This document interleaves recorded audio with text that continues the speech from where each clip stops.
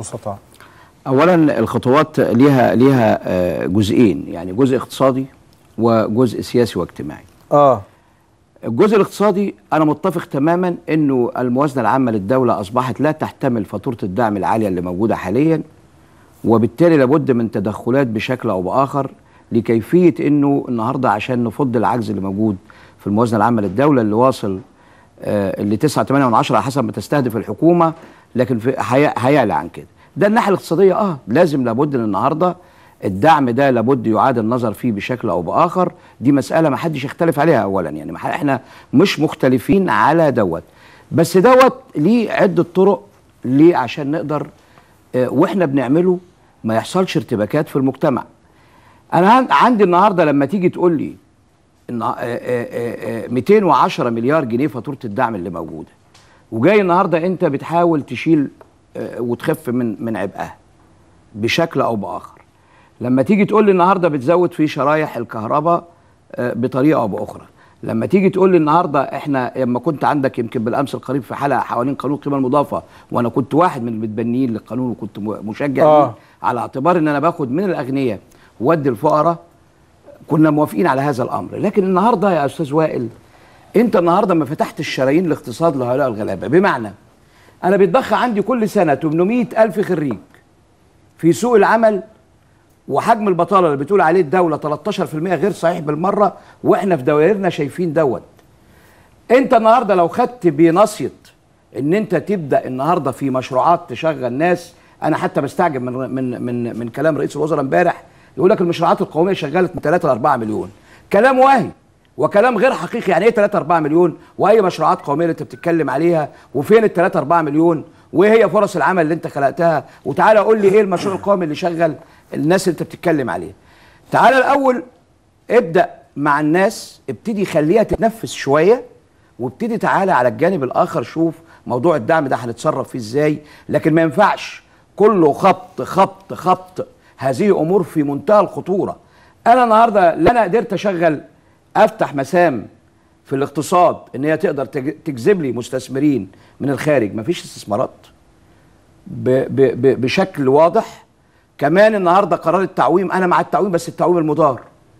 طب تخيل إنه إنه ال- المحافظ البنك المركزي يقول إنه سعر ال- الدولار ب 13 جنيه يزيد وينقص 10% وتفاجأ إن البنوك اللي هي الإنتر بنك اللي هي تبع أصلا تبعيه الجهاز ال- ال- ال- ال- البنك المركزي بتبيع ب 15 و16 جنيه. يعني هم ذاتهم بيخالفوا القرار. ده يخوفني أنا كراجل سياسي وراجل نائب عن هذا الشعب. أنت كمان لما خدت هذا القرار لو أنت واخده من ناحية اقتصادية ده أنت السوق جرى في الحكومة. السوق بتاع الدولار هو اللي جرى في الحكومة وجابها على تبعياته. إنه النهارده الدولار لما وصل 18 جنيه اضطريت أنت تقول إيه؟ البنوك تشتغل في في الدولار. وخليت البنوك تشتغل هتشتغل في أموال المودعين بالدولار. ورفعت الفايدة على الجنيه آه، 20% في هتعمل انكماش أكتر. كل هذه الأمور لو أنت النهارده حاكم أدواتك وحاكم آلياتك نحن معك في ده.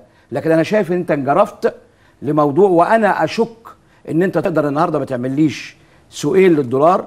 أشك إنك أنت النهارده تقدر تسيطر أشك النهارده تفتح لي مسام في الاقتصاد أشك النهارده إن أنت تقدر تجذب لي استثمارات أشك النهارده الحكومة بأدائها المتردي الحالي إن هي تقدر النهارده تظبط إيقاع المجتمع في أمور كثيرة جدا.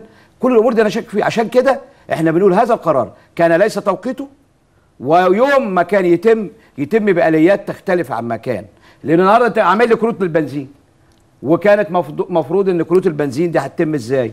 قلنا السيارات اللي فوق سعه ال 2000 CC والسيارات الفارهة والكلام ده كله نحن إحنا مش عايزين نغل أنا عايزه بالسعر العالمي. ياخده. لكن النهارده كمان في ناس غلابة كتير. النهارده أنت كمان ما عندكش وسيلة آآ آآ نقل آآ أنت ت- مسيطر عليها. السكة الحديد خسرنا 4 مليار. طب يعني أنت مثلا عندك في السويس آه. ردود فعل هل الناس تأثروا؟ جدا. الناس تأثروا إحنا يا فندم عندنا مكاتب لخدمة المواطنين. مم. أنا عايز أقول أنا والله العظيم واحد من الناس امبارح لم أستطع أن أؤدي صلاة الجمعة. امبارح بالرغم على فكرة أنا مؤمن بفكرة إنه لابد فاتورة الدعم أن تخف.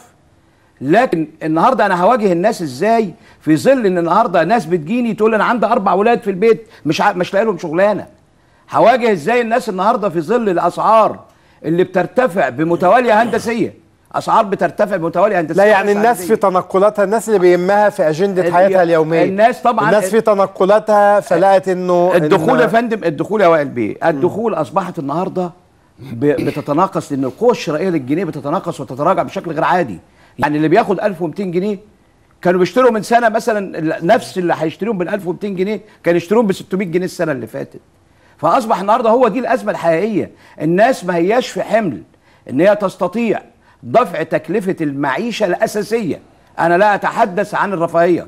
أنا بتكلم الناس النهارده ما بتقدرش تدبر طعامها. ما بتقدرش النهارده تدبر مو... عيشتها اليومية. وهذه أمور إحنا كنواب معنيين بيها. دي جزئيه الجزئية الثانية كمان آه. لما يبقى وزير البترول قاعد مع لجنة الطاقة الزملاء في لجنة الطاقة بيقولوا لنا كان قاعد معاهم من يومين ولا ثلاثة ولم يأتي بسيرة إن هو هيرفع الدعم على ال- المواد البترولية أو هي- هيحرك الأسعار. فهذه كارثة أخرى. يعني نواب مج... المجلس ده هي الحكومة مش شايفاه. ده منتهى الخطورة. انت هم مش شايفين مجلس النواب. هو إحنا طول الوقت هنفضل النهارده. هم ياخدوا قرارات في منتهى الخطورة. وبدون الرجوع لنواب هذا الشعب. وبعدين في الآخر إحنا اللي بندفع فاتورة تواجدنا وسط الناس. والناس مش رحمانة.